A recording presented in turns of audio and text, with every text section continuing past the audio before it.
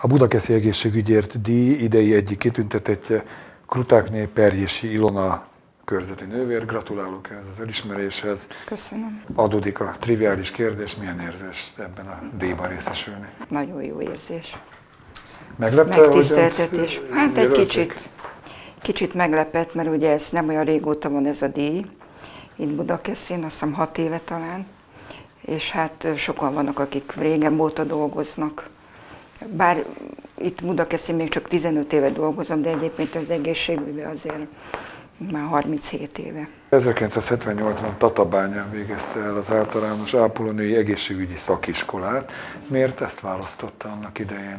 Akkoriban az édesanyám kor, nem egészségügyi dolgozó, vagy kórházban dolgozott, és én gyerekként bejártam hozzá, és nem tudom, ott valahogy olyan, úgy kicsit úgy megfogtak ott ezek a dolgok. A millió? Hát igen, valahogy úgy, ugye akkor, akkoriban lehetett az ember fodrász, kozmetikus, ápolónő, tehát akkor ezek voltak a divatos, úgymond divatos szakmák. Lányok részéről. De hát a lányok részéről tényleg. De mondjuk most fiúk is vannak már Már vannak. egészségügyben, hát akkor még nem ez teljesen lány osztály volt. Úgyhogy aztán így valahogy így belefolytam ez ebbe, és akkor így. De általában az emberek nem szeretnek kórházba járni, se betegként, se látogatóként. A segítő szándék volt az, ami ebbe az iskolába és erre a pályára irányította? Szerintem igen, bár hát akkor ezt még én nem tudtam így konkrétan, tehát 14 évesen az ember. De valami mégiscsak megérintett ott, hogy, hogy ezt választottam, és hát egy percig nem bántam meg, úgyhogy. És először, mint minden fiatal lány, ugye gyerekekkel szerettem volna foglalkozni. Gyerekek, de aztán itt a, a kórházi gyakorlatok során, ugye az iskola mellett ez gyakorlatra is jártunk, hát aztán rájöttem, hogy a gyerekek azért azok. Tehát, tehát őket sajnáltam, és az nem igazából jó.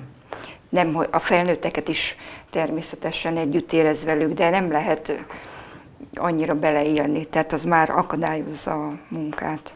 Mennyire kell pedagógusnak is lenni egyébként az ön Hát munkájában? úgy finoman annak is kell, igen. Tehát nem úgy, hogy ezt csinálja, azt csinálja, hanem picit olyan körüljárva a dolgot, és általában az emberek hajlamosak arra, hogy elfogadják a tanácsokat. Nagyon kevés az, aki azt mondja, hogy tehát aki elzárkózik teljesen. Milyen állomásokon keresztül jutott el Budakeszire, mondja, hogy 15 éve dolgozik itt, de hát azért végignéztem, egyrészt voltak korábbi munkahelyei. Nem volt sok, egyetlen egy volt. Ez a Szent Ferenc kórház. Tehát mikor elvégeztem az iskolát 78-ban, akkor följöttem Pestre, Honnan? Tatabányáról? Tatabányáról, ott igen, ott, ott is laktunk, igen. Én egyedül a barátnőmmel jöttem föl Pestre, rögtön a Szent Ferenc kórházba, növésszállon laktunk, tehát ott 22 évet, kemény 22 évet dolgoztam. Valószínűleg akkor azt, azzal kevertem össze, hogy sok iskolát, meg plusz tanfolyamot Igen, végzett. mert ugye ez a 78-ban, amit elvégeztem, az általános ápolónői volt. Erre kellett egy egyéves ilyen ráképzés, hogy felnőtt szakos ápolónő legyek, és aztán az egyik fiatal orvosunk elvégezte a foglalkozás egészség, vagy régen üzemorvosként ismert ágát az egészségügynek, és akkor megkért, hogy én végezzem el a, e, ugyanennek megfelelően a nővéri, tehát a foglalkozás egészségügy nővéri iskolát. Azt is elvégeztem, ez egy ilyen 10 hónapos vagy 11, és utána ez bőven elég volt az ottani feladatokhoz. feladatokhoz. De azt olvasom, hogy belgyógyászaton és sebészeti osztályon is dolgozott. Azért oda a sebészeten a súlyosabb esetek fordulnak, meg Ez, gondolom. ez úgy volt akkor, amikor följöttem 78-ban, hogy együtt volt, tehát volt egy 56 ágyas folyosó, fele, fele belgyógyászat, fele sebészet, és akkor bizony, hát a belgyógyászaton, ami, ott jött mindenki, és onnan ide-oda milyen szakágra kellett küldeni őket. A sebészeten, ott meg általános sebészetet, ilyen hasi, epe, sér, ilyen műtétek, úgyhogy hát kemény volt. Sokat kellett túlorázni, tehát éjszakai ügyelet, stb. stb. Ezek a Három, mű, nehézségek. három műszakban dolgoztam, elég sokáig, igen. Hogy lehet azt bírni? Az ember hogy tud regenerálódni, amikor éjszakákat kell végig dolgozni? Hát én nehezen. Tehát gondolom mindenkinél más, de én, mit tudom én, hazamentem reggel, akkor olyan három óra, négy óra körül fölébredtem, nem tudtam, hogy hol vagyok. És aztán magamhoz tértem estére, másnap ugye megint menni kellett, mert minden másnap, tehát 12 óráztunk. Ö, nehéz volt, és ugye az egy téves dolog, hogy mi ott aludtunk éjszaka, tehát azt nem, tehát hogyha nyílt az ajtó, vagy bármi volt az ember rögtön, mikor el is szundikált, szóval az, az, az éjszakát nem szerettem. Azt előjel, hogy hogyan tudott regenerálódni, tehát három műszakban dolgozott, alig tudta kipihenni magát. Mikor tudott az a kamaszlány lenni, vagy fiatal Ilona, aki elmegy a barátnőivel táncolni, szórakozni, erre jutott idő? Ez lehet, hogy nem lesz mindenkinek szimpatikus, de hát dolgoztunk, hát most ha elmentünk szórakozni, hazamentünk hajnalba, és bizony reggel 7 órára mentem dolgozni. De ez nem akadályozott meg abba, hogy én el tudjam ellátni, a, hát fiatalok voltunk. Akkor nagyon népszerű volt, hogy a diszkó, a színházat imádom mozi. Ahogy kell. Igen, tehát ezzel, de volt, rengeteget jártunk, úgyhogy volt munka mellett. Ma, ma már nem ennyire feszített, felteszem a munkaidő, bár innen a stúdióból délután Megyek dolgozni. megy dolgozni. Hát igen, azért ez, ez egészen más. más. Tehát biztos, hogy könnyebb, tehát egyértelmű. De Mondjuk el azért, hogy dr. Imre Éva mellett dolgozik. Igen, igen, igen. De azért sok feladat van itt is. És ugye igaz, hogy itt a rendelőben négy és fél óra, de a másik három és fél órában járok a betegekhez, tehát vérvétel, tehát minden, ami a, a kötözés, ami a szakmámmal összefügg. Mit szeret tehát, jobban, ha lehet ilyen kérdést föltenni, itt a rendelőbe fogadni a betegeket, vagy pedig kimenni lakásra? Hát ugye a rendelő az az alap, hát de ugyanúgy szívesen megyek a betegekhez, tehát nem az se probléma. Vannak kedvenc betegei? Most anélkül, hogy neveket említene. Akikkel szívesebben van, és el is beszélget Aha, egy kicsit. Uh-huh. Biztos, hogy mindenkinek van, tehát aki emberileg egy picit tehát jobban megérti magát vele az ember, de annyira különösen nem, tehát van nagy kivételek nincsenek. Van, akivel ugye kevesebbet találkozik az ember, azzal nem tud olyan kapcsolatot kialakítani, de kimondottan kedvenc nincs, mindenki egy. Ez egyébként is nálunk akármilyen közhelynek tűnik, tehát nem lehet, ha belül érzés az ember, a többi beteggel nem lehet ezt éreztetni. Világos, valakivel. persze, de hát pedagógusoknál is mondják, hogy minden gyerek egyforma, az nem igaz. Tehát hát biztos, nem, hogy közelebb nem. kerül ö, valamelyikhez van, valakitől kis távolság, mindet egyformán kell tanítani nyilván, vagy önnek éppen ellátnia. Persze esete, amire visszaemlékszik így a pályafutása során, amikor adott esetben az ön gyors és hatékony közbeavatkozása a, mentett meg akár egy életet is. Több volt, mert amikor én végeztem, a 70-es, tehát a 80-as évek, 90-es évek környékén rengeteg infarktusos beteg volt, 40-50 év közti férfiak, rengeteg. És ugye én nagyon fiatal voltam akkor, és ott, ott tulajdonképpen állandóan toppon kellett lenni tehát a utasításokat. Újraélesztés adott Persze, esetben? rengeteg. Rengeteg. Azért ez borzasztó nagy felelősség, én elképzelni nem tudom, hogy az én mozdulatomon múlik a másik ember élet. Sokan nem is gondolják, tehát, hogy milyen lelki tehernek vagyunk kitéve.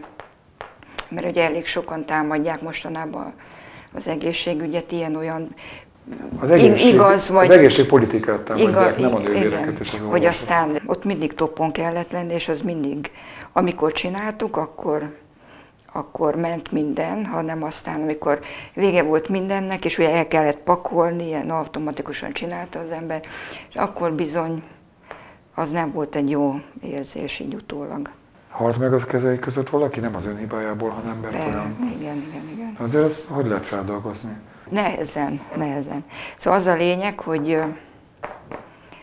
tehát nem, nem, nem lehet annyira magunkra venni ezt bármilyen, tehát valamilyen kis falat kell, de ugye mondom, most is érződik, hogy nem olyan egyszerű azért, az nem muszáj. Ez nem az a munkakör, hogy az ember leteszi a köpenyt, és kimegy, nem. és hazamegy, és vége. Viszi magával egy kicsit. Igen, egy picit.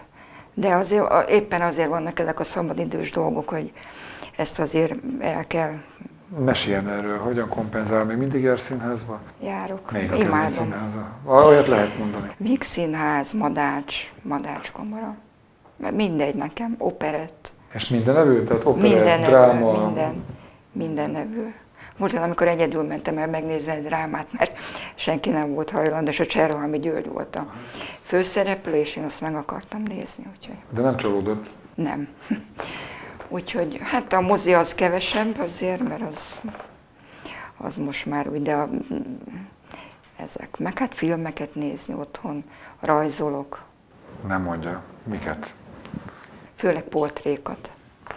De Tehát modellt ember- Nem, képről. Képről. képről. Tanulta ezt, hogy egyszerűen van érzéke Nem, hozzá? csak szeretem úgy.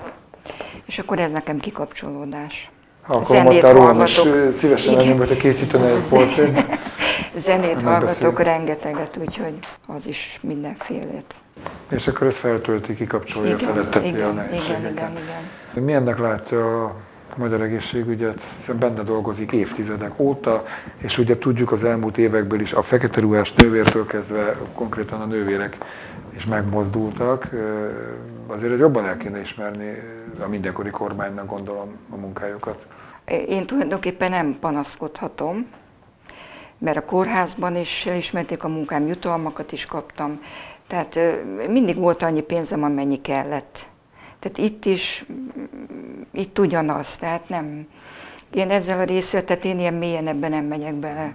Tehát mm, megvan, ami kell, persze, hogy mindenkinek kellene több pénz, de, de nekem ez így De mondjuk szerintem az egészségügyben dolgozók, különösen több műszakban, éjjel-nappal, emberéletek függnek az önök munkájának a precizitásán, azért több pénzt érdemelnének, mint mondjuk a cipőfelső részkészítők. Most eszembe jutott, elnézést kérek Hát tőlük. ez az, amit ugye nem mi döntünk el, de hát ugye erre mondhatná nagyon sok ember, aki mit tudom én, öntödébe vagy akárhol dolgozik, hogy többet érdemelne, mert nehéz munkát végez.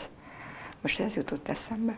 Jó, hát Tehát biztos, hogy nagyon, so, biztos, biztos, hogy nagyon sokan vannak, akik, akik úgy érzik, hogy több pénzt érdemelnének, de ezen én nem rágódom. A magánélet mellett a stresszes, kemény szellemi és fizikai munka mellett azért itt teljesét tudta tenni, tehát az, ahogy elképzelte, az megvalósult? Jutott erre idő? Itt az élet az közbeszólt azért, mert a férjem az meghalt, a gyerek hat éves volt, úgyhogy ö, sokáig egyedül neveltem, úgyhogy ö, hát, szóval nem volt azért olyan egyszerű a magánélet, de aztán utána rendeződött, úgy Gyermek nem követte az ön pályáját? nem, nem, ő, ő egész más, nem tudom, hogy honnan, a családba ki volt, én ő borász, úgyhogy ő, nem. Sokszor bejött velem, mikor kicsi volt a kórházba, és mondta, hogy ezt ő biztos, hogy nem, nem csinálná. De nem bánja, hogy borász lett belőle. Nem, nagyon, nagyon megtalálta a helyét, úgyhogy örülök neki, ő is, én is, tehát egy nagyon jó, hogy honnan örököltem, vagy honnan jött, ez nem tudom, de Nem baj, ha jól érzi magát, akkor... Igen, igen, sokáig keresgéltem, mert ő is bölcsész, meg pszichológus, meg mit tudom én. És aztán végül itt, itt. Hát porozgatás közben jó gondolatai Igen, születnek az igen, embernek, igen. úgyhogy itt a bölcsészetről. Egyetlen egy kérdés még, Igen. a betegek visszajelzései gondolom fontosak az ön számára. Ezt hogyan dolgozza fel, vagy hogyan, hogy esik ez, amikor jó, rossz, bármilyen visszajelzés? Igen, lehet? igen. Gyakorlatilag ebben is szerencsém van, mert azért volt konfliktus, tehát olyan ember nincs, akinél nem fordul elő, de hát az ember elintézi magában. Tehát a betegekkel soha ne, tehát nem válaszolok úgy vissza, hogy ő viszonyul hozzám, de a betegek 95%-ával ki tudok jönni, sőt, hát az emberekkel. Tehát mindegy, hogy beteg vagy más téren. Tehát nem vagyok egy ilyen könnyen alkalmazkodva, vagy nem tudom, tehát átveszem a másiknak a ritmusát, és tehát nem, nem szokott ebből probléma lenni.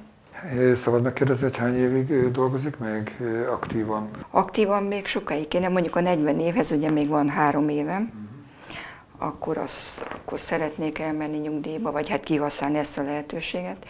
De hát szerintem ugyanúgy fogok mellette dolgozni tovább. De nem tudja tétlenül elképzelni magát? Nem, nem. Jó egészséget kívánok a folytatáshoz, Köszönöm mind szépen. a magánéletéhez, mind a munkájához. Köszönöm a szépen.